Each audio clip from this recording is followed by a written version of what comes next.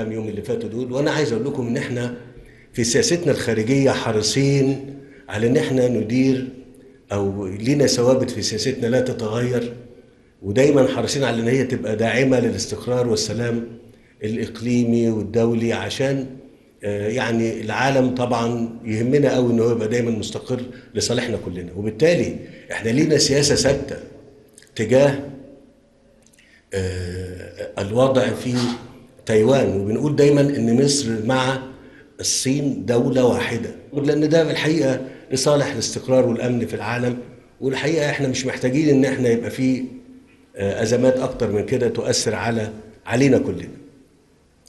بقية الأوضاع طبعا يمكن أنتوا آه، يعني تابعتم اللجنة العربية أو المجموعة العربية اللي يعني اللي انبثقت عن الجامعة فيما يخص الأزمة الأوكرانية وتحركت في اتجاه الاتصال مع آه، روسيا ومع أوكرانيا في محاوله يعني لتهدئة الأمور والعودة إلى مسار دبلوماسي يمكن إيجاد حل سياسي للأزمة بعيدا عن ال- ال- الحرب يعني.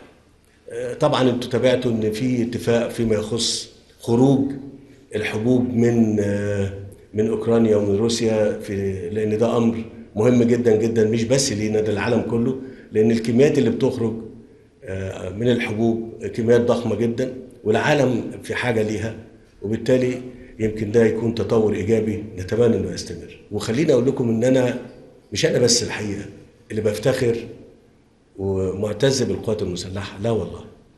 أنا أتصور إن كل الشعب المصري عدا طبعا يعني الأشرار يعني مقدرين جدا جدا الجهد والدور اللي القوات المسلحة بتقوم بيه في في كل الأوقات حتى في أوقات الأزمات اللي إحنا موجودين فيها.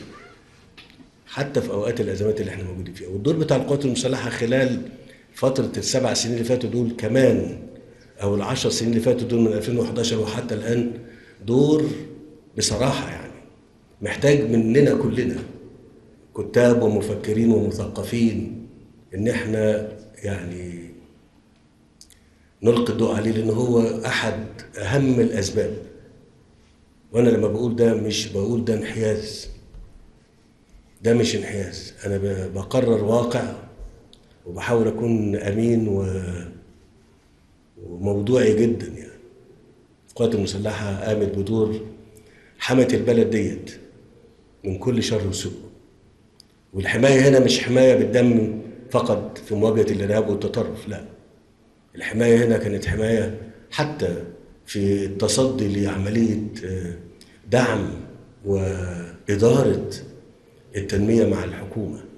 جزء من الدولة أصيل جدا بيشتغل بكل قوة من أجل التقدم ومن أجل استعادة يعني أو تخفيف أو زي ما ممكن نقول تعويض الوقت اللي فاتنا خلال الأزمة اللي حصلت من 2011 وحتى الآن.